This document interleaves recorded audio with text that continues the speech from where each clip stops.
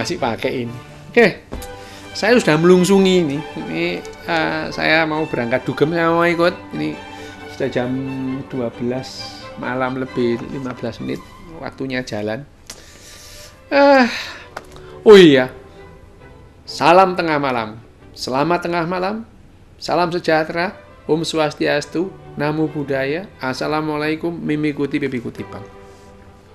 Ini tadi dalam di ruang melungsungi, ruang ganti itu malah ada orang yang ngomong soal Mozart yang bisa musiknya Mozart yang bisa meningkatkan kecerdasan janin itu ya. Oh, orang jadi terus kemudian sekarang banyak kaset kaset CD itu ya untuk apa namanya meningkatkan kecerdasan janin itu dengan ibunya mendengarkan Mozart.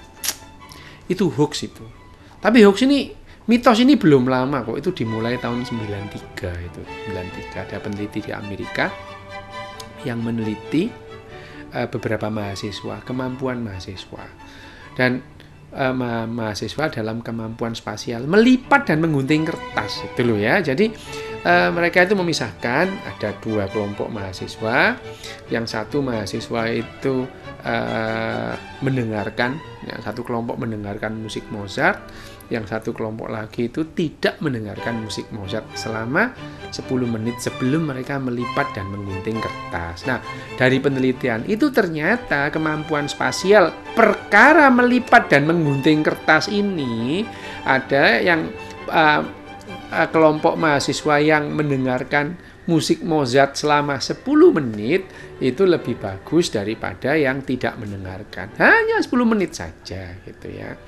Lah, enggak tahu kenapa sebabnya ya, terus kemudian efek Mozart ini menjadi mau apa namanya begitu uh, meluas sampai sampai ada mitos yang mengatakan musik Mozart bisa meningkatkan kecerdasan janin bagi ibu-ibu uh, yang mendengarkan ini apa namanya mendengarkan musik-musik Mozart. Padahal tidak ada riset apa pun atau uh, penelitian apa pun tentang Mozart yang bisa uh, meningkatkan kecerdasan apa pun. Hanya kecerdasan spasial soal melipat kertas ya, catat lagi ya, melipat dan menggunting kertas pada 17 orang mahasiswa yang uh, mendengarkan musik Mozart itu saja. Jadi kemampuan tapi tidak mengenai kecerdasan apa pun apalagi IQ apalagi emosional kecerdasan emosional tidak ada ya.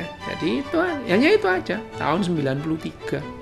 terus kemudian dua tahun kemudian ada mitos tentang efek Mozart itu. Dan sampai sekarang itu ya tidak ada tidak ada satu musik pun yang kemudian kalau didengarkan itu terus kemudian membuat orang cerdas IQ-nya atau emosinya.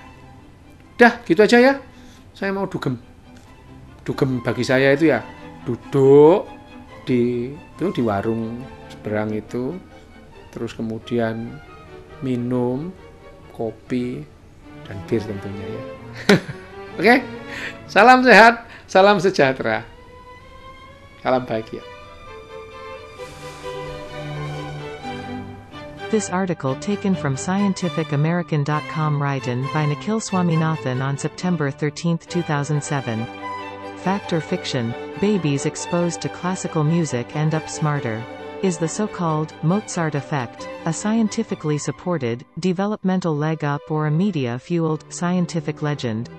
The phrase, Mozart effect, conjures an image of a pregnant woman who, sporting headphones over her belly, is convinced that playing classical music to her unborn child will improve the tyke's intelligence. But is there science to back up this idea, which has spawned a cottage industry of books, CDs and videos?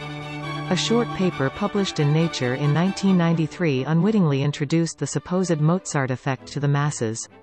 Psychologist Francis Rauscher's study involved 36 college kids who listened to either 10 minutes of a Mozart sonata in D major, a relaxation track or silence before performing several spatial reasoning tasks. In one test, determining what a paper folded several times over and then cut might look like when unfolded. Students who had listened to Mozart seemed to show significant improvement in their performance by about 8 to 9 spatial IQ points. Rauscher, whose work, unlike most scientists, is sometimes cited on the liner notes of CDs, remains puzzled as to how this narrow effect of classical music extended from a paper folding task to general intelligence and from college students to children and fetuses. I think parents are very desperate to give their own children every single enhancement that they can, she surmises.